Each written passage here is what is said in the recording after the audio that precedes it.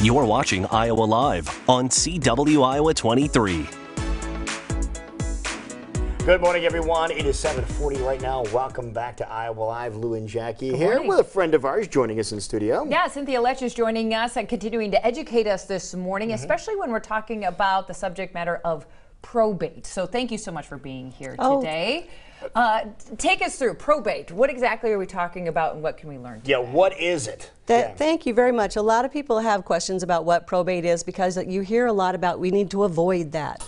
So let's figure out what it is before we decide whether or not it's something we need to avoid. Sounds and, good. And probate is the it's that public process after someone has died that is used, which involves the court system, to get your assets to whoever your beneficiaries are supposed to be and to make sure that your creditors have the opportunity to make a claim so that if you owe them some money, they have a, a system in place so that they can make their claim and get paid. Okay. So probate involves the court system, though, and so not everybody needs to go through the probate process, and um, you know people should get some education on whether or not that's right for them. So is that why people are saying we don't want to we don't want probate or things like that? They're wanting to avoid the court system, or you need to know whether or not you need to make those proper procedures. Well, generally, I would say it, probate is a very public process, and so if you have private information, if you want your information to be kept private, Right. who your beneficiaries are, what Right. money, what assets you had, then yes, you would want to avoid the probate process. So you want to make sure everything is taken care of well ahead of time. Yes. Okay. And well, yes, you do want to make sure everything is taken care of well ahead of time. But what does that mean? What everything is taken care of? Right. So, um, so that's that's where the mystery comes in about probate. How do you take care of things so that you don't have to go through probate, or is that even a big deal for you?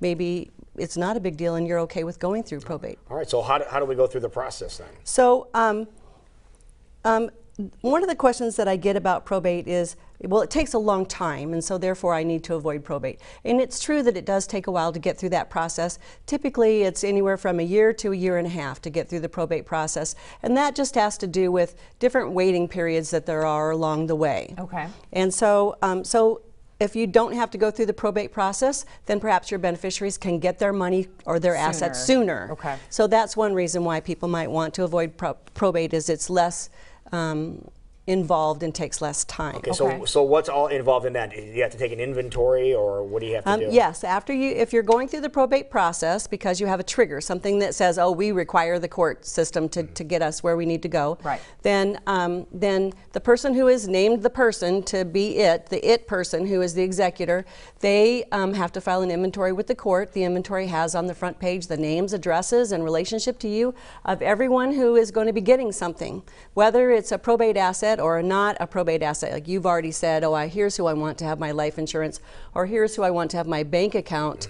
Um, you've told the bank who to give the money to. Even for those assets, their names are on that inventory. So that's very public and searchable online. You can go online now and just search and where can you find a list of people who are getting money in the probate records. Really? So privacy is one really big reason Is why you big might to be avoiding um, avoiding probate. Right. Okay. Uh, any other big reasons why you might want to avoid it? Um, well, there's the cost factor. So if you have, um, there's a limit to how much attorneys can charge for do, doing this work. Okay. The, the, the law says we can only charge this much, per, and it's a percentage, Okay. basically, of what your estate is worth. So if you have a very small estate, then you may have a difficult time finding an attorney who really wants to do that because there's a limit to how much they can charge. They They can't make any money on want it. to deal with it. Yeah. Right. Yeah. To Yeah. be so, honest, yeah. so for the smaller estates, it's kind of important to figure out how to avoid probate.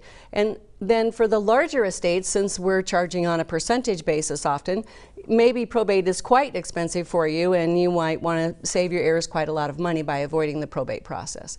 So there's um, there's a range, probably I would say under two hundred thousand dollars. If your estate is worth under that, then um, you know, the, the cost factor is an issue for you because you might not be able to find an attorney willing to do that work for you. If your estate is over $600,000, then you've accumulated quite, you'll, you'll incur quite a lot of fees for probate and the cost of um, having a, some sort of trust to avoid probate might be a better choice for you. What is a, a general uh, idea of how much uh, attorneys do charge for this? Uh, for a general rule to give people an idea. The statutory limit is is basically two percent of the value of your estate, okay. and that's what many attorneys just think of that as a commission, and that's what they charge. Okay. All right, l- let's talk about technology uh, and how that uh, hasn't really caught up with what's happening with the probate system. Well, the probate records um, are public records, and always there have been forever people who search them. So if you're looking for a real Really? estate investment, you might go to the probate records and see, you know, someone has died. Do they have real estate? Let me look up that real estate. Yes, I might want to buy that. You'll contact the attorney before that that property goes on the market to see if you can get ahead of the game.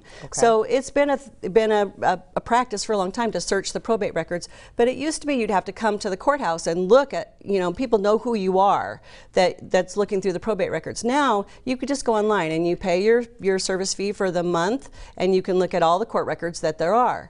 And Really? yes, so it's much more anonymous now, and anybody can go in and mine those that data for information that they're looking for. Right, and you said mine the data, which means that they could find out who's supposed to be getting what, and Yes. we're talking about identity too. Yes, You have to be exactly. careful That's that too. that is exactly Yeah. what we're looking for. If you were looking for a list of people who are getting money, you know, it's not a list of people. You have to do the work to create that Right. list. But the information is But publicly available. available. Wow. Yes. So yeah, that might be something to keep it keep that in mind. Yes. Yeah. So let's go back to the point if people are saying, okay, yeah, th- I understand the reasons to avoid, maybe I do want to. What do I need to make sure I have in place before this happens so I don't have to go through That probate? very much depends on your personal situation. If you don't have an estate plan, the state has one for you. So if you don't have a will, the state will say who gets your money when you die. Right. But if you want to avoid probate, you have to manage your pro- probate triggers, those things that would cause you to be in in in that system.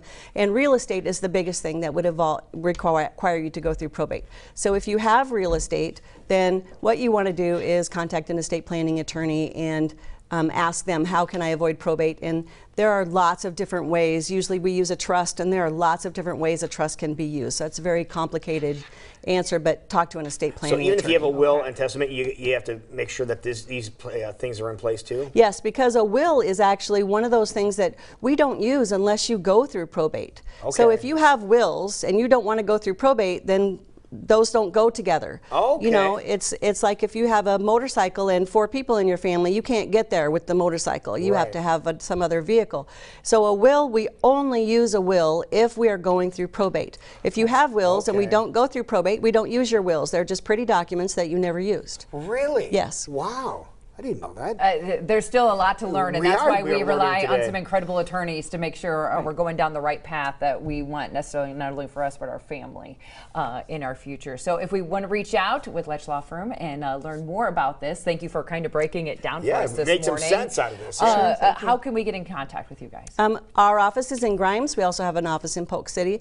The one phone number will get you to both places. It's 515 986 2810. oh, Or you can go online. Our, there's a contact us on our website, and that's www.letschlawfirm.com. All right, have the information up on the screen right now, phone number, and then there is the website. If this sounds like something you want to figure out, uh, it, it made a whole lot of sense to me this morning. It opened up my eyes, I'll tell you Exactly. Great, We thank appreciate you. educating us. Uh, LetschLawFirm.com for more details. I'm still going to try to figure Thank out how to very get four people on a motorcycle. That's, that's, that's my deal here this morning. Thank you so much for being here. Thank you. All right.